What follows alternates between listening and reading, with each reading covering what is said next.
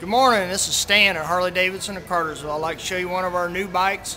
This is a 2011 uh, V-Rod Muscle.